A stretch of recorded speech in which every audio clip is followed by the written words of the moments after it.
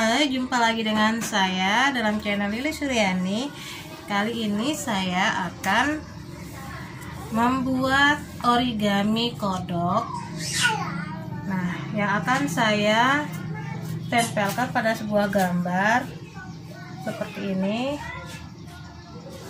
Nah, buat kalian penasaran, silakan ikuti videoku dari awal sampai akhir dan dicoba dan yang harus kita persiapkan yaitu dua ukuran kertas origami. Buku gambar. Spidol. Crayon